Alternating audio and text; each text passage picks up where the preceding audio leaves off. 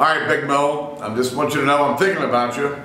I hope you have a great game on Saturday night, and never, ever, ever give up. God bless you.